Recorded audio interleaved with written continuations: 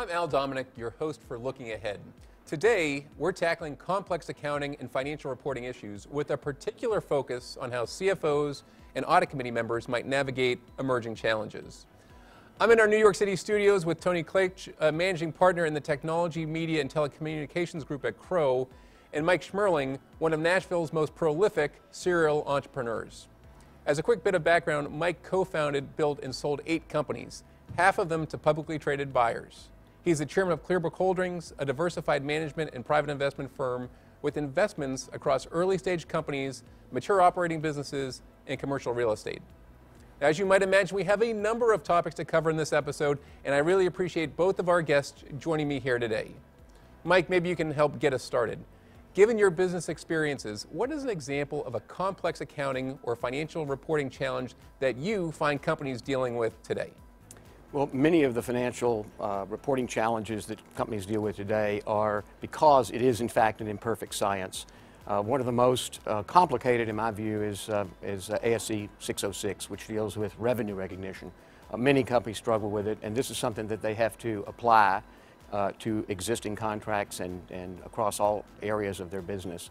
Um, in the board that I'm on, as an example, um, we had to go through every single contract, thousands, to, in order to comply with this. So that's just an example of one that is really a difficult challenge, and I think there are many others uh, as a result of SOX and others. Sure, Tony. Yeah, no, I would uh, I would agree with Mike, and uh, you know, from a RevRec, for example, you have four steps that you have to kind of comply with on revenue recognition. And there's five criteria. So you have a lot of different things. But I would say the other topic that's been of interest is business combinations. Mm-hmm. You know, there's a lot of activity going on in the marketplace still on mergers and you know, acquisitions. And it's complex. Uh, business combination accounting is very complex. You got to account for all the assets, you got to account for all the liabilities. It's been a big driver of problems. So I would say one of my top is RevRec. Second would be business combinations. Sure. Yeah. Well, so let's stay with you and yeah. maybe talk about an issue that you find regularly creates mistakes. Yeah. Yeah. You know, I think it's a lot of it, Al, is on investments. Okay. When you underinvest in some of these areas, especially in accounting and finance, you run into problems. And you know, Mike might be able to comment on that too. But I'd say when you don't have the technical expertise in house, it'd be one example of an underinvestment or when you don't have enough policies, procedures, you run into problems, especially when you get in these complex areas, and uh, that's when issues come up. Yep, yep. Mike, how would you maybe build on what Tony just shared? Well, one, one great example uh, that actually occurred this year was um, with Coors. They had an announcement of a major restatement as a result of uh, uh an acquisition, buying back their own stock. And just as an audit uh, committee member in, uh, in a situation like that, when you have a huge income coming from buying something versus selling something, mm-hmm. that's a clue. And um, uh, there are always people who know a lot more about firsthand information about how these things can come up, but, but really there's, there's clues and flags along the way that you, you have to just appreciate and, and pick up. Yeah. And uh, in this case, it caused a major restatement. Well, so you mentioned audit committees. How would you suggest that the audit committee react, uh, and maybe by extension, how should a risk committee prepare should something like this come up?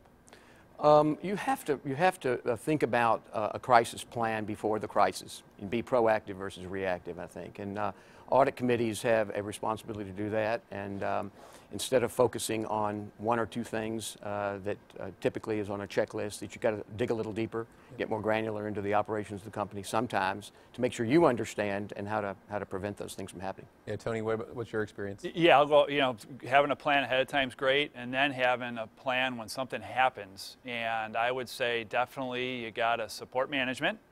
You know, as you dig into things. Uh, but you got uh, responsibility to stakeholders, so you got to be thorough. So support management one, you know, uh, conduct a thorough investigation. Number two, uh, get the experts. You know, whether it's RevRec, whether it's business combinations, you got to have the experts in these areas. So get the experts in. Could be internal, could be external, and then just work on, you know, as you work with management on the remediation plan, make sure there's a good remediation plan in place, and then that you help management monitor that plan. Sure. Yeah. So then maybe guys, you could talk to me a little bit about some of the more common preventative steps you'd recommend for companies in these complex areas? Yeah. I don't know, maybe Mike, you could have something? Well, I think having a, a plan in advance is, is always key. Um, I'll, I'll go back to that. Um, there's, a, there's a great line about uh, being, a, being a uh, director at a bank, for example, is like being an airline pilot. Um, you know, years of boredom and seconds of terror.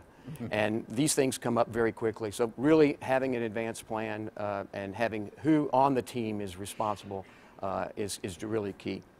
Tony, can you one up that saying? Well, no, I can't, but I'll add to it. You know, I think uh, I'm a big fan of uh, preventive measures like risk management programs. And it allows management to identify and prioritize its risks. And then it allows us as board members to interact with those risk owners and those that are involved with managing those risks. Sends a great message to those risk owners on the importance of what they're managing and also allows the, the board and the committee to interact with management. So uh, big fan of the, of the, risk management programs. Doesn't need to be uh, rocket ship, but just a simple program that drives uh, what's important. Sure. Well, Mike, Tony, my thanks for your perspectives. Again, I'm Al Dominick. Thank you for looking ahead with us today.